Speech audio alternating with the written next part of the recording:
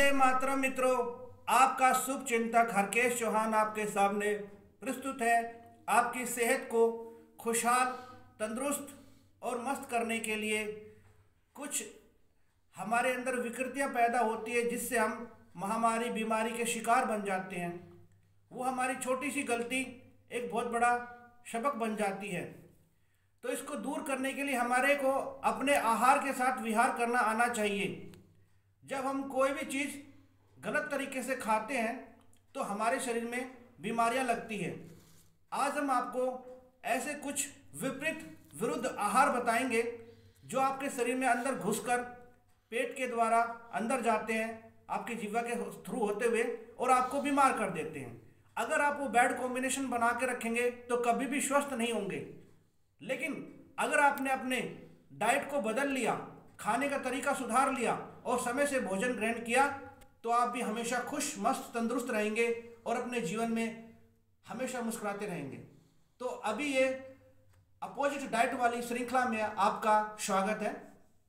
आपको कोई भी मिल्क प्रोडक्ट, दूध, छाछ, मट्ठा जिसे बोलते हैं, दही, मक्खन जिसे आप बटर बोलते हैं, इनके साथ कुछ गलत चीज़ होती है जो गलत टाइम पे खाने से नुकसान करती है। नंबर एक, दही छाछ मट्ठा में कभी भी नमक ना डालें। अदरक ना डालें। खीरा ना डालें। और मूली ना डालें। ये विपरीत आहार है। नमक ना डालें।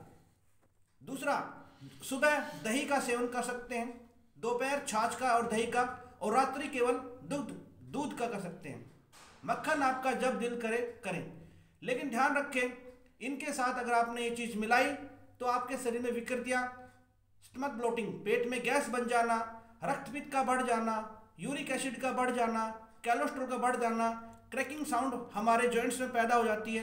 ऐसे करके हमारे लीवर को ख़राब करता है, कमज़ोर करता है किडनी को ख़राब करता है, कमज़ोर करता है और हमारी हड्डियाँ चटकनी शुरू हो जाती है। इसलिए कभी भी मिल्क प्रोडक्ट में किसी भी प्रकार का नमक नहीं डालना चाहिए, ना ही तो सी साल्ट ना ही रोक साल्ट और ना ही ब्लैक साल्ट ना ही कभी इसके अंदर खीरा डालना चाहिए। ना ही कभी इसके अंदर मूली डालना चाहिए। ये विपरीत आहार है और ना ही इसके अंदर आपने उड़द का सेवन करना है, कोई भी उड़द नहीं डालना। ठीक है? अगर इनसे बचेंगे तो आप हमेशा खुश रहेंगे। आप दही छाछ के अंदर हल्दी डाल सकते हैं, अजवाइन डाल सकते हैं, सौंफ डाल सकते हैं, जीरा डाल सकते हैं, धनिया डाल सकते हैं।